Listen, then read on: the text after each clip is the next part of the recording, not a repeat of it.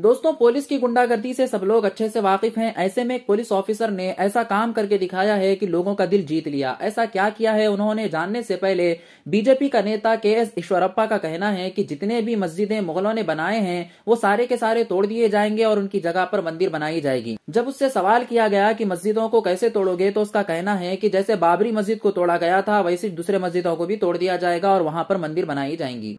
याव हिंदू देवालय में मसीद कटिद्रो ಆ ಒಂದೂ ಮಸೀದಿಗಳು ಉಳಿಯಲ್ಲ ಅಲ್ಲೆಲ್ಲವೂ ಕೂಡ ಮತ್ತೆ ಹಿಂದೂ ದೇವಾಲಯಗಳು ಆಗತ್ತೆ ಇವತ್ತಾಗತ್ತೋ ನಾಳೆ ಆಗತ್ತೋ ಐವತ್ತು ವರ್ಷಕ್ಕಾಗತ್ತೋ ನೂರು ವರ್ಷಕ್ಕಾಗತ್ತೋ दोस्तों हाल ही में डिफेंस मिनिस्टर राजनाथ सिंह ने यूनिफॉर्म सिविल कोड का जिक्र किया है जिन लोगों को यूनिफॉर्म सिविल कोड के कानून के बारे में पता नहीं है उनको बता दूं कि एक लॉ बनाया गया है इंडिया में जिसमें डिवोर्स शादी और अडॉप्शन वगैरह कानून के हिसाब से करना होगा मतलब कि जो इस्लाम का जो शरिया लॉ है उसको खत्म करने की पूरी पूरी साजिश की जा रही है उसी से मुतालिक ये मौलाना का क्या कहना है चलिए देखते हैं अस्सलाम वरहमल वर्क मैं मुफ्ती महमूद जुबैर काशमी एक अहम मसले में आप हजरात से मुखातब हूँ। आपके इल्म में शायद ये बात न हो कि बाईसवें लॉ कमीशन ऑफ़ इंडिया ने यह फैसला किया है कि वो फिर एक बार बड़े पैमाने पर आवाम और तंजीमों की राय यूनिफॉर्म सिविल कोड के सिलसिले में हासिल करेगा। हम मुसलमान इस मुल्क में गुजश्ता पंद्रह सौ साल से अपने कानून शरीयत और मुस्लिम पर्सनल लॉ के मुताबिक ज़िंदगी गुजार रहे हैं और अपने पर्सनल लॉ के साथ ही इस मुल्क में रहना चाहते हैं। हमने बारहा यूनिफॉर्म सिविल कोड को मुस्तरद किया है। इसीलिए ज़रूरत इस बात की है कि हर मुसलमान मर्द और औरत अपने अपने तौर पर इनफरादी राय लॉ कमीशन ऑफ़ इंडिया को भेजें। इसी तरीके से तमाम तंजीमें, उनकी तमाम शाखें अहदेदारान मेम्बरान अलग अलग अपनी राय लॉ कमीशन ऑफ़ इंडिया को भेजें। इनका email address member secretary dash L C I at G O V dot in है। और अगर पोस्ट करना चाहते हैं तो उनका पोस्टल एड्रेस है member secretary law commission of India fourth floor Lok Nayak Bhavan, Khan market, New Delhi one one zero zero zero three ये एक इंतहाई अहम बात है। इसकी तरफ़ अइम्मा और खुतबा से भी ख्वाहिश है कि आवाम को और तंजीमों को मुतवजह करवाएँ।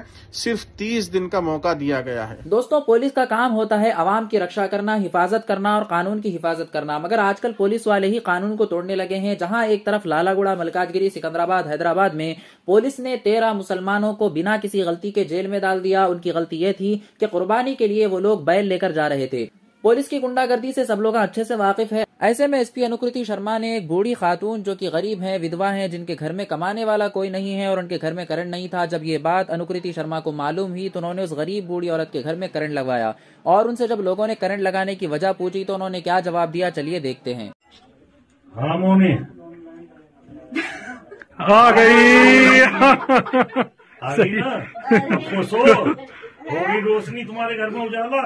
भाई पंखा भी चलाना एक बार? पंखा भी चलाओ। आ गया मैं देखो वो देखो ये आओ उधर ही। चाहो उसके पास ही। अंदर कर दो। इसको।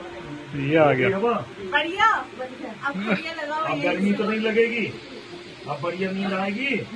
चलो एक फ़ोटो लेना यहाँ पे बल्ब। इसने आज लगवाया है आप भी वहाँ मौजूद थी क्या महिला की डिमांड थी किस तरह उसका कनेक्शन लगवाया जैसा कि आप जानते हैं कि हम लोग जनता और पुलिस की दूरी को पाटने के लिए लगातार गाँव में जा रहे हैं, लोगों के साथ चौपाल कर रहे हैं, उनकी समस्याओं को सुनते हैं। उसी एक चौपाल के वक्त ये महिला नूरजहाँ जो है, काफ़ी वृद्ध महिलाएँ ये हमारे पास आई उन्होंने कहा कि मेरे पास बिजली का कनेक्शन नहीं है। बेसिकली इनके घर में काफ़ी आर्थिक तंगी है, ये विधवा है, इनकी बच्ची है जिसका विवाह हो चुका है, ये अकेली रह रही थी।